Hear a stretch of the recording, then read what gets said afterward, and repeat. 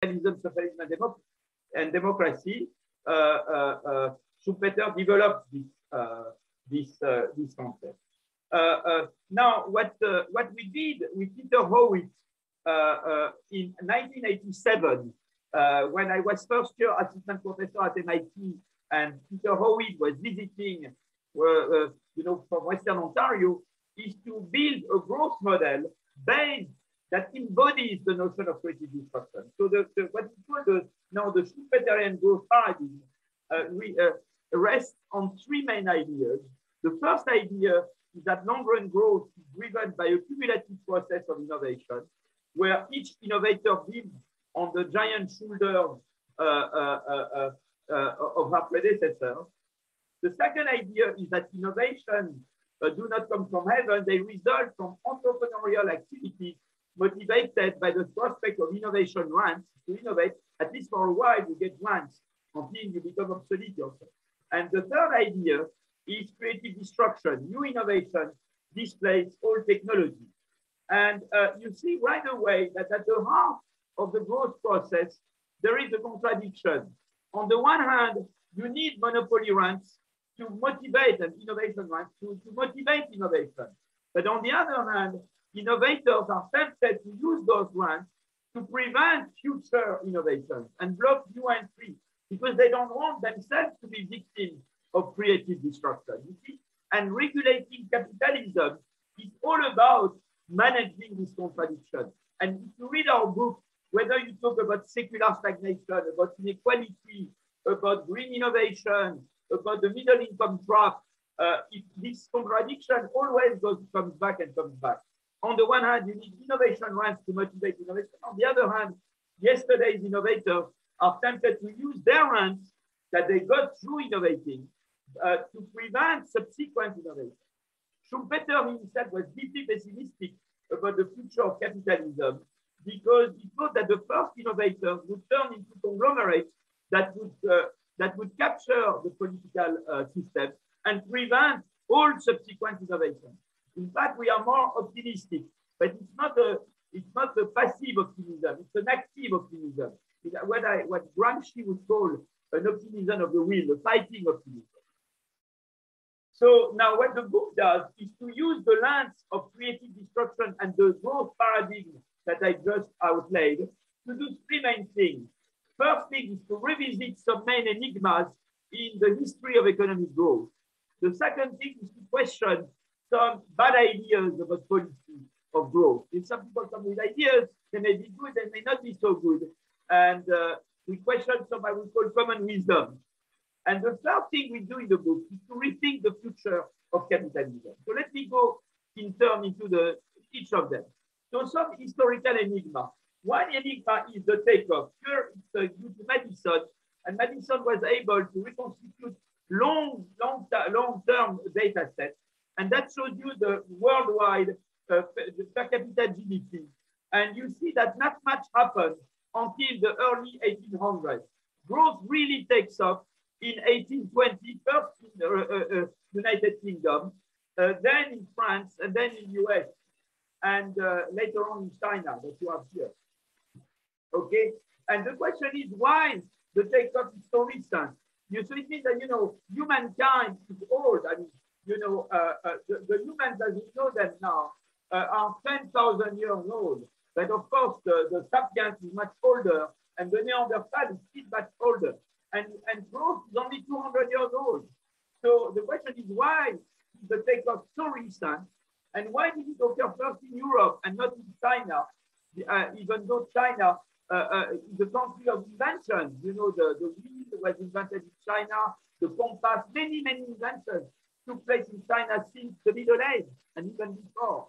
Why didn't the the takeoff in China?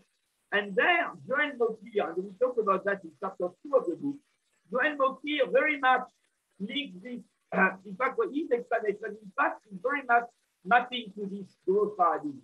First, uh, uh, says in Europe, by 1820, you had institutions that allow for cumulative innovation. And in particular, the encyclopedia, the Encyclopedia Britannica or the French Encyclopedia of Diderot made it possible to codify knowledge. so that we don't have to reinvent the wheel each time. Uh, uh, uh, we can build on, on, on, present, on previous innovators because their knowledge is codified. And uh, that was just you know, late 18th century, early 19th. So by then you had the encyclopedia, let's say 18th century. And the second condition is that you need protection of property rights innovation, because otherwise you don't guarantee the, the rent. Okay? And uh, that was made possible in England by the Glorious Revolution, and in France by the French Revolution, followed by Bonaparte, by Napoleon. And uh, uh, uh if you had, uh, had you maintained, uh, you know, Louis XVI and in France, you would not have a good protection of property rights because the aristocracy would, would steal all the values of your innovation. And so that was very important to have. And the third one is creative destruction. Uh, uh, how can you guarantee that new innovators will not be blocked by previous innovators? And in China, for example, uh, if you had a successful inventor, the emperor would be afraid that that inventor would become too powerful. So they would always, you know, uh, inhibit this uh, inventor. And uh, in Europe, because uh, Mokyr explained very well that you have competition among European countries. So if one country persecutes an inventor, the inventor could always flee to a, a neighboring country and develop her innovation in that country, which would then compete with the home country. And that competition between countries made it possible to protect the disruption in Europe. It's very interesting that the explanation for the takeoff is exactly maps the uh, paradigm,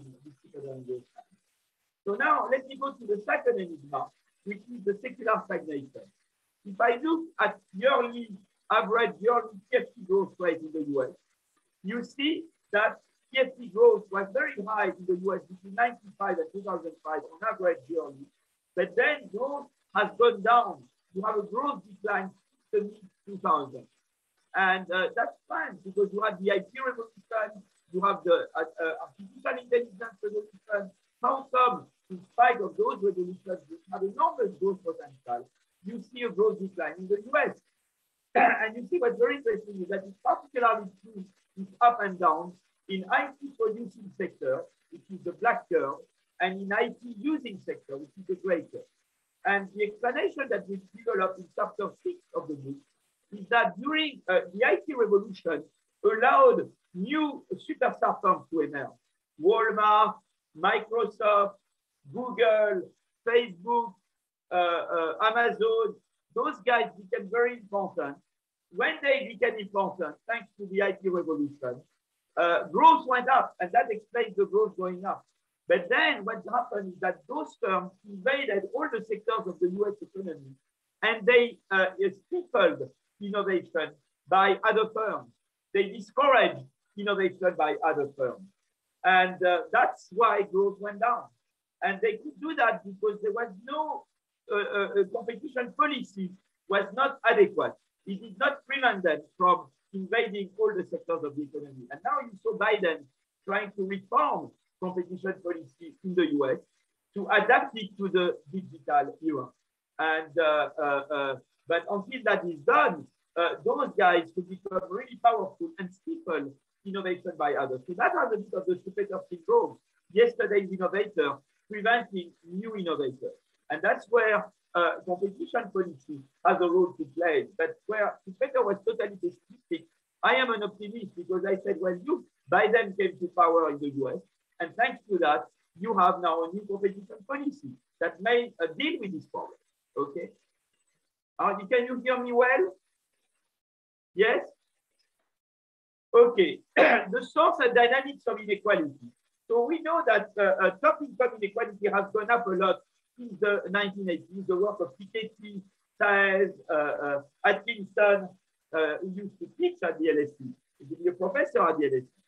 But uh, I mean, I'm sorry. Could you just speak tiny slow? Because the volume in the room isn't the, uh, as great, and I think some of the students struggling to hear it. So if you just slow down the pace. Okay. Okay. Thank you so much. Do, do you want me to redo things I've done before?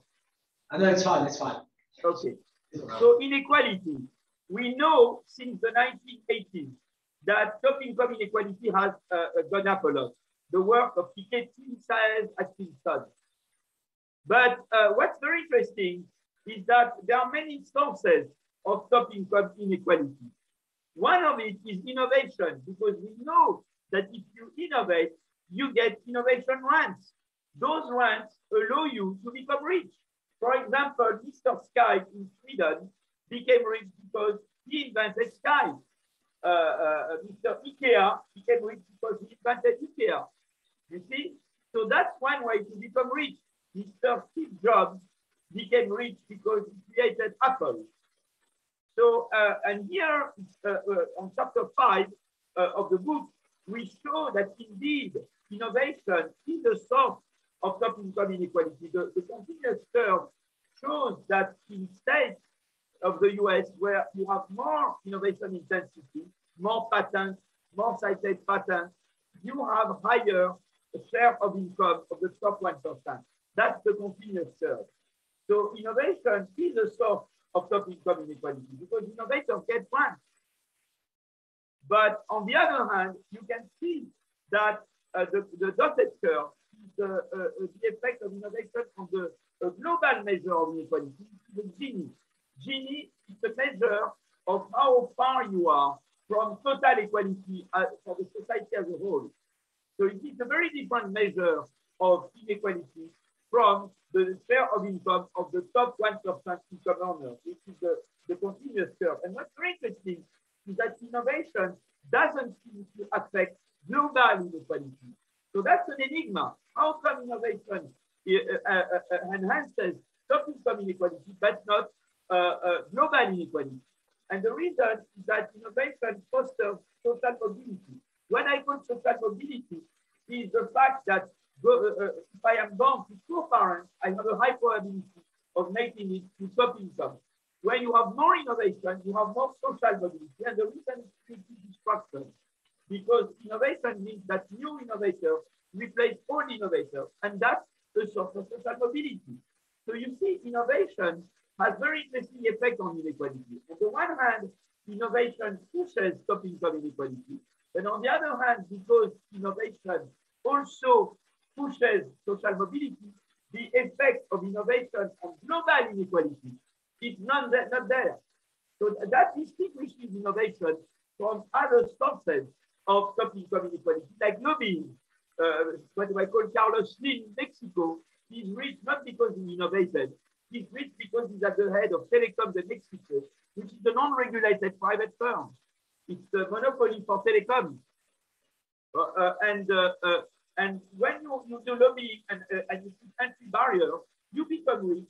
But that's, that's bad for social mobility because not only you enhance top income inequality, but you are also being detrimental to social mobility. So instead of innovation here, I was putting lobbying on the horizontal axis, lobbying intensity, I would see that both the continuous curve and the dotted curve would be upward sloping. You see? So it's very interesting because when you are asked about inequality, you should ask which inequality are you talking about? Are you talking about the top income inequality? Or are you talking about global inequality? And also which source of top income inequality are you talking about? Is it innovation, Steve Jobs, or is it lobbying, Carlos Slim? And it should not be the same way between these two sources of top income inequality. You see, that's what I'm different from Piketty. In Piketty's world, uh, there is no innovation, there is no firm, and all rents are inheritance and lobbying. None of the rents are innovation. So you have to be very careful when you talk about inequality and uh, uh, innovation or inequality and lobbying. And when you try to understand what is the source of top income inequality. Can you follow what I say? Do you follow me? Yes? Do you follow? Okay. So let's have a pause of one minute before I go to the second part, questioning common wisdom.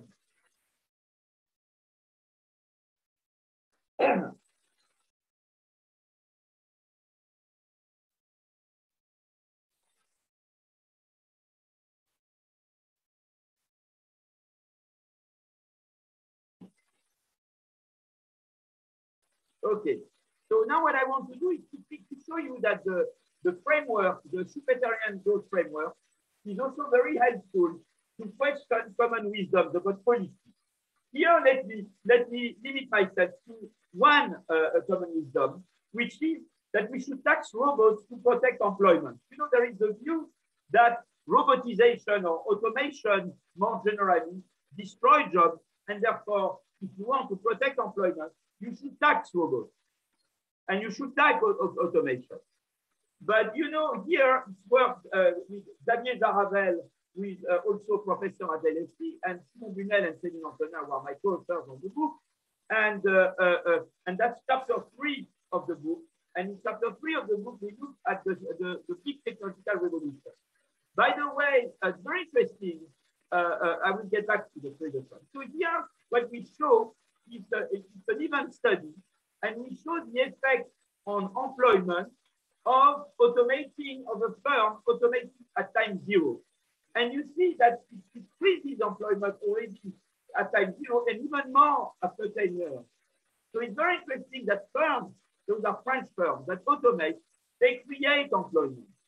So you might, ah, you might be surprised. You might say, France, how come by automating, automating means that you replace manpower by machines. How come by doing that, you create employment? The reason is because firms that automate, they become more competitive, more productive. And as a result, their export price goes down, the quality adjusted export price. Either they have a lower price for the same good as they used to do, or they, they, they have, a, you know, a better quality for the same price that they used to have. But the, the quality adjusted export price goes down when they automate. And because their price goes down, they can export more abroad. They, they become more competitive abroad. Their market size abroad increases. So there is a worldwide bigger demand for their products. And because these firms face bigger demand worldwide for their products, they will hire more workers. So you see this productivity effect, in fact, more than compensates for the substitution effect of man by machine. And so if you wanted to tax robots here, it would be very bad because you would penalize, you would punish firms that in fact create employment by automating. You would make more costly for firms to automate, so they would automate less, and therefore they would not be able to reduce their export price, and therefore, you see here, I show the same of firms that automate. You can see that when firms automate, the sales go up. So the story is that when you automate, your export price goes down, then you become more competitive worldwide, and your sales worldwide go up. And because your sales go up, you demand more labor and you employ more people. If I tax those firms, that, that would mitigate that effect. You see, they would be they, they would not automate as much, so they would not reduce export price as much, and therefore they would not increase sales as much, and therefore they would not uh, uh, increase employment as much. So that's a bad idea. You see, so uh, and uh, uh, that's that's the kind of idea. But there is another idea, for example, uh, that we deal with protectionism. Some people believe that the way to, to respond to import shocks, for example, the China shock of the 1990s, the way to respond to it is to do a trade war and to do tariffs. I, uh, and that's a very bad idea because here is Germany and France in COVID products. COVID products, it's respirators, uh, tests and masks, you see that Germany export, which is the triangle uh, uh, black, went up a lot, much more than the German import. But so Germany now has, an, has a trade surplus of 20 billion euros on these COVID products. But it achieved that because it innovated and invested, not because it put tariffs on China. It, it would have been a very bad idea to put tariffs on China because then China would retaliate. And if China retaliates, it would have reduced, it would have uh, the export markets of Germany, and therefore it would have uh, uh, uh reduced German percentage to innovate. It's a very bad idea to put tariffs because you, the, the, the destination country retaliate by closing export markets. They close export markets, it means that a potential innovator in Germany or France uh, will see a, a smaller market for her innovation, and therefore they will have less incentive to innovate. and that would be a bad idea. So the best way to respond to a, a, an import is to innovate more, not to practice protectionism. And that's what this shows. And so the, the, what we do is a question like that, a number of common reasons.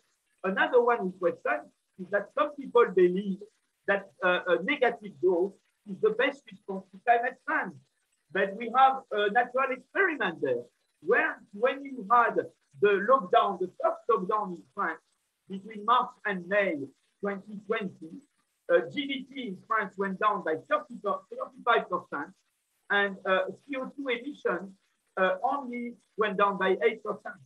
You see, so uh, uh, uh, that shows that you need more, you need green innovation, and you need a whole kind of policy, a whole set of policies to use green innovation, carbon price, subsidies to green innovation, industrial policy, uh, uh, uh, consumer role, green finance, and in chapter nine of the book, we detail all the policies that the state can have to redirect technical science towards green technology.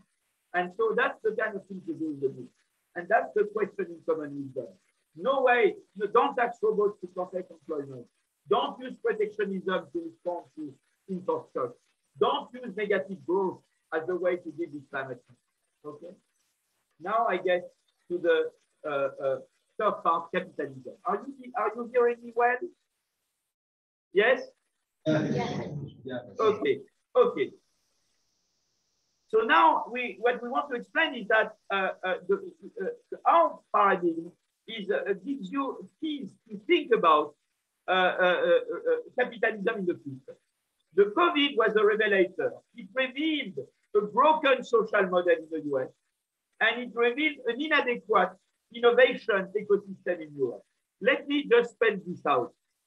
This represents the, the curve, this represents the uh, uh, health insurance and unemployment in US and Germany.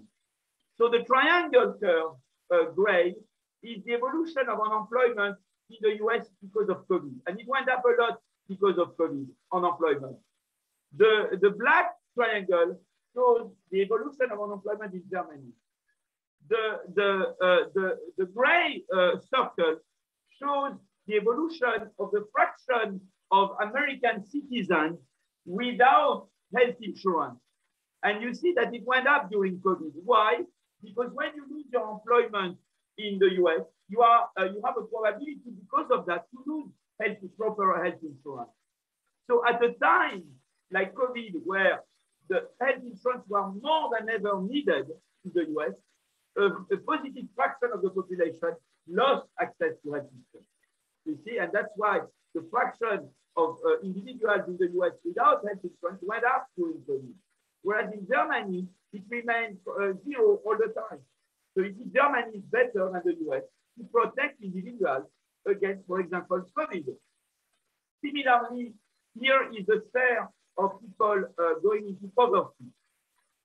Because people, when you lose employment, you become poor. In the US, the share of individuals falling into poverty went up with COVID uh, in, the, in, Germany, it remains constant because you see, so that shows that uh, uh, Germany is better than US when you have a shock like COVID.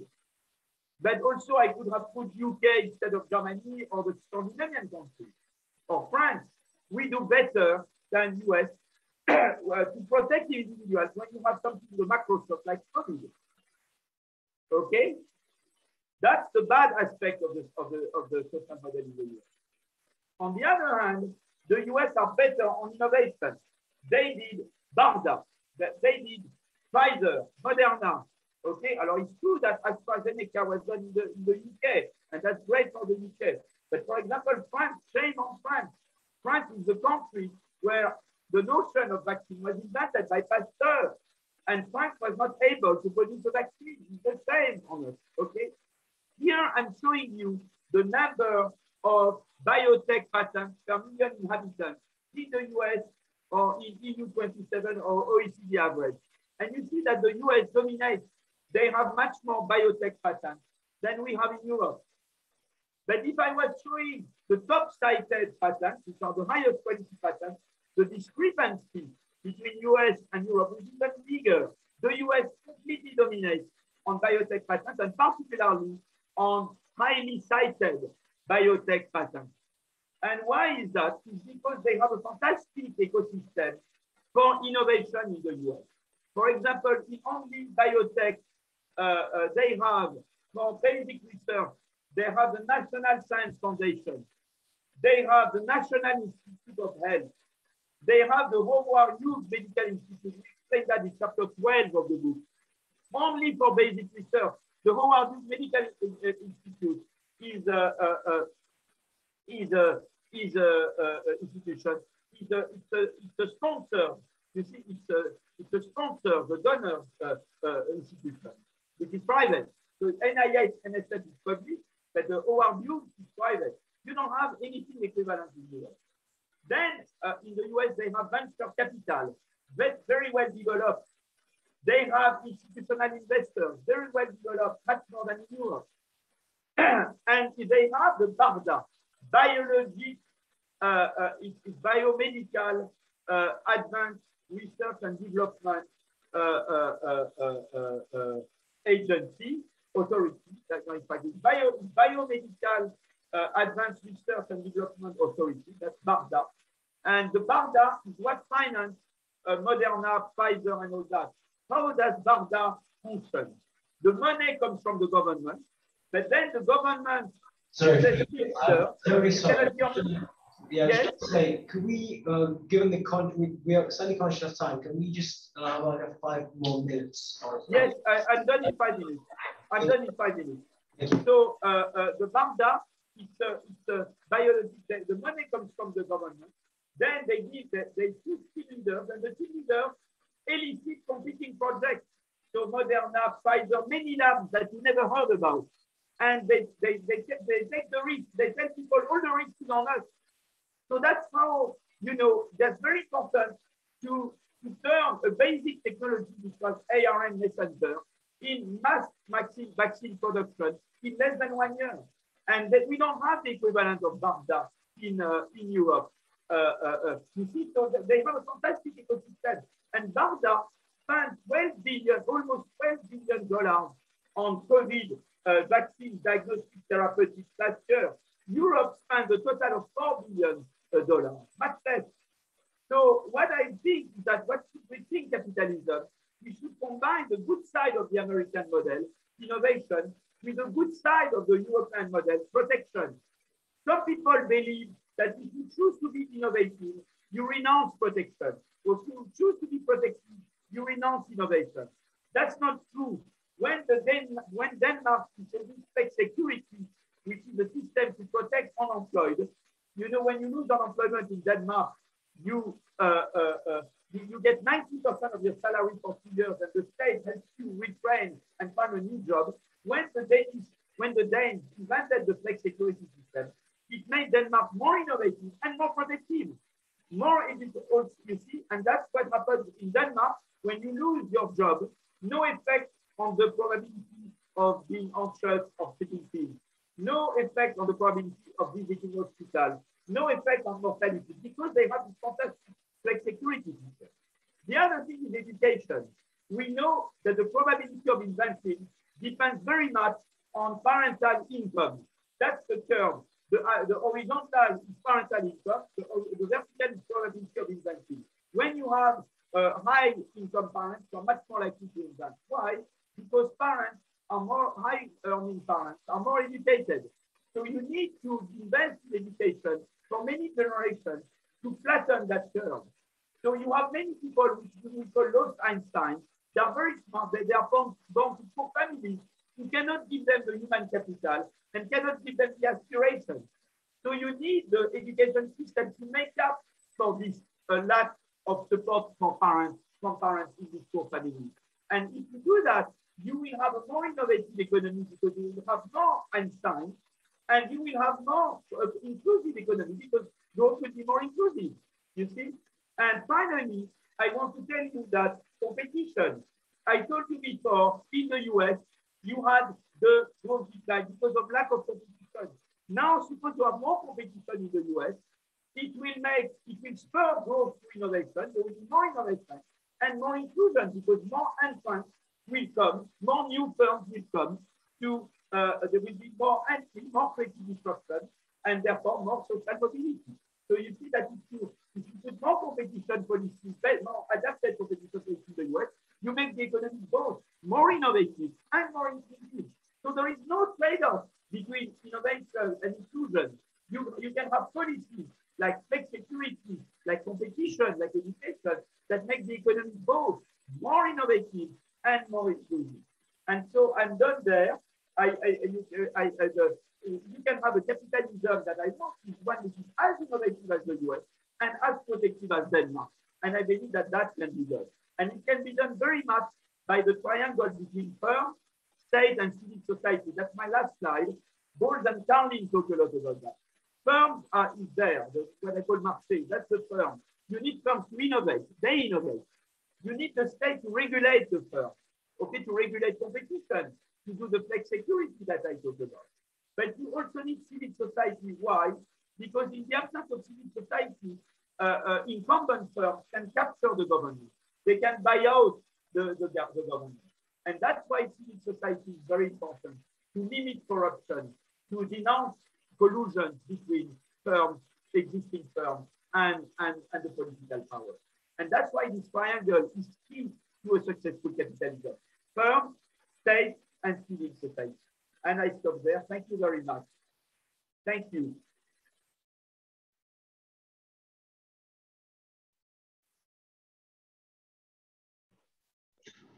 Okay. Thank How you. long did I do? Was I more than 40 minutes? Did I do more than 40 minutes? No, it was perfect. It was perfect. Thank you so Okay, much. okay, very Um, good. thank you so much for the incredible presentation. I think we all really did enjoy it. Um, now I'd like to open it up to any and all questions. Is there anybody who has, has a, like a question that they'd like to ask right now? Please feel free. If not, I do have some questions from the chat. Could I could I ask a quick question? Yes, Yes, Um, so in the study you were mentioning uh, how automation doesn't necessarily trade off with employment. Uh, I was just wondering what kinds of jobs were the automators creating? Were they the similar types of jobs that existed before, or were they sort of roles that were designed to sort of complement the sort of machines they were using to automate their Yeah. production? they, uh, it's true that, you know, uh, what's very interesting is in our data, we don't see that it's still so skill biased. We find that the composition of employment remains the same. They just hire more and they keep the composition of employment. So we were expecting that it would be more geared towards skill jobs, but we don't find that in our data. So it's a s roughly the same sort of like. yeah, yeah, yeah. job, That's okay. what we find. Yeah. It was All right, thank you. Yeah. Thank you. um, Philippe, I'm so sorry, but your audio suddenly went bad. Would it be possible to try without your earphones, please? What do you want me to do? Would it be possible to take off your earphones and try without using earphones? Because the audio suddenly went a bit rough. Like this? You prefer like that? I, I think the earphones were better. Actually, the earphones. were Yeah, better. I think we should do the earphones. Thank you. Are there any other questions? You, yeah, you can come in first. Yeah, just so. You spoke about fusing the European social welfare state with American innovation. Do you think there's implicit tension between, you know, perhaps the bureaucratic structure of the EU and something like the robust um, corporate environment what in the United States? Uh, I think we can reconcile them. I, I think very much. You know, that's what I explained. When, when the Danes introduced flexicurity, it made creative destruction much more socially acceptable and much more efficient. So it spurred innovation, and at the same time, it made growth more protective. Uh, education, you have many people who could be innovators. They cannot be innovators because they are, they are not properly educated. And so if you have better education system, you have more innovation and more improvement. And the competition the same way. Uh, uh, more, more adapted, more suitable competition policy will make the economy both more innovative and more, uh, uh, uh, more inclusive.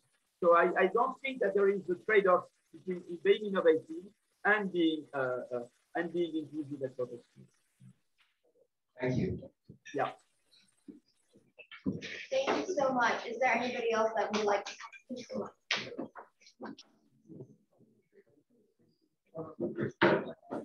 Um, hiya, Billy. Uh, we set aside between the European welfare state and the American more like innovative model. How would it make sense for a government uh, fiscally to do such a thing, especially in the short term? So the, the fiscal policy, so you have to be very, very careful on the fiscal. I discussed tax policy chapter five uh, uh, of the book with my co-author. And, uh, uh, you know, you have to be very careful. I told you that rents can be either from innovation or from lobbying and or entry barriers. So you have to be very careful because if you overtax, you, you discourage innovation. So, for example, in Sweden, they used to have excessive tax uh, in particular on capital income, and they reduced their tax on uh, uh, even the high income tax and the, on, on, capital income in the early 90s, and that boosted innovation. So Biden was right to increase taxation there because tax was too low and too unfair. But uh, Sweden was right to uh, modify its tax system the way it did in the early 90s. You have to be very careful because too much taxation discourages innovation. But we know that innovation gives you growth and social mobility. So it may be counterproductive to discourage innovation. So you have to be very careful when you design your tax system. Uh, uh, that's my argument with Piketty. Piketty always wants to have maximum tax, but it doesn't, it, it, again, it doesn't take into account innovation. And that's important to take that into account. So Biden was right, I think, to raise taxes and also to propose that multinationals uh, raise tax, you know, that we impose minimal tax of at least 15% on multinationals everywhere. That I was all for. But I think that Sweden was right to reduce a bit the, the tax, which was excessive tax rate that it used to have pre-1990. And so that, that's why you have to do smart taxation. And also, to what extent do you think it's the reversal of what Margaret Thatcher said when she said there is no such thing as society? Sorry, what, what Margaret Thatcher? What, what do you, to what extent is that related to a reversal of what Margaret Thatcher said when she said there is no such thing as society? No, I think she's wrong. Uh, I don't like the way she did. I mean, I mean Thatcher, it's true there was a problem, you know, there with the, the, the you know, unions being too powerful, incumbents were too powerful. And so she needed to boost entrepreneurship. So she might, there might have been good things she did, but she operated the patient without anesthetic. She was too brutal. In the in the in Denmark, you see, they they pushed entrepreneurship in a way which is uh, uh, socially acceptable. You see what I mean? So I believe very much in the triangle between firms, uh, uh, uh state, and civil society. This triangle is crucial, and I believe that you can push entrepreneurship in a way which uh, involves civil society and can be and and, and it's pro social uh, and, and, and, and, and uh, mobility and inclusivity. So that's where I differ from Madam, Madam Mrs. Thatcher. I think she did some reforms that were needed to liberalize the market. You needed to liberalize the system, but she did it in a way that ignored the society. And the problem with that, the problem with that is that it gave you Brexit. I think Brexit is a remote consequence of it. Uh, thank you very much. Thank you. Do you does anybody else have any other questions?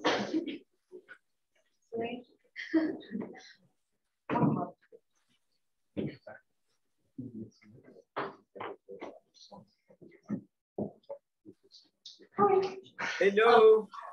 Uh, thank you so much for the talk. Uh, a very quick question on the process of creative destruction and its impact on innovation, especially as it pertains to different countries. Do you think it's a difference in the way that this process works in developed countries versus frontier markets? So, for example, the US versus sub-Saharan Africa, as well as, for example, middle, middle income countries like South Africa and Brazil, which are stuck in the middle income trap. Yeah. So you're right to raise the issue of the middle income trap. The middle income trap is chapter seven of the, of the, of, of the book is very much based on work I did with Daron Acemoglu and Fabrizio Zilibotti, because we said there, there are various ways to grow. You can grow by imitating more advanced countries, or you can grow by innovating at the frontier. You innovate upon yourself, essentially. Okay, and when you are in the process, the institutions uh, and policies that are good for uh, helping catch, catch, what I call uh, catching up growth are not the same institutions and policies that foster frontier growth. And uh, uh, the middle income trap is the fact that some countries, when they, they were in the catching up mode, like Korea or even Japan, they had some institutions. And then during that phase, big firms developed, big, big conglomerates. In, in, in, in Korea, they are called chaebols. In, in Japan, they are called keiretsu. And those big conglomerates not only people new innovation and new entry, but they prevented the government to move towards policies that would be good for frontier innovation. You see what I mean? They got stuck in policies that would be good for catching up, but not necessarily very good for frontier innovation, like competition. We know, and that we show that in chapter four of the, uh, in chapter sorry uh, four of the book, that when uh, uh that competition uh, is very important for frontier innovation, is less important for catching up uh, growth. And, and so when you move to become frontier, because you are converging to more advanced countries, to more advanced per GDP levels, uh, you should at, at, some point move towards more competitive policy, more competition, more labor market flexibility, etc. And uh, uh, the problem is that the conglomerates that, that, that grew during the catching up phase, they, they turn into barriers not only to new entry, but to necessary change of policies and institutions from policies that are good for catch-up growth to institutions and policies that are good for frontier growth. And that's the problem of Korea. And that was the problem of Japan. Japan grew very fast until the uh, uh, late 80s and then stopped growing because uh, uh Japan, you know, very much discouraged uh, uh, this big conglomerate, really capture very much the government. And, and, and that's the same in Korea. And that's the syndrome of, of the middle income trap. But sometimes crisis can help. We explain in chapter seven that the financial crisis of the 90s weakened the power of the conglomerates in Korea, and they allowed more growth because then more entry of new companies occur. So that to a, to a bad, they can be a good. Sometimes crises can weaken the big incumbents, the big elephants, and because they weaken the big elephants, there is more room for breathing space for new firms to come in. Thank you. You're welcome. Right, thank you so much. I think we will wrap up the Q&A for now. And on behalf of everyone here, we would like to say thank you so much for the time and the effort.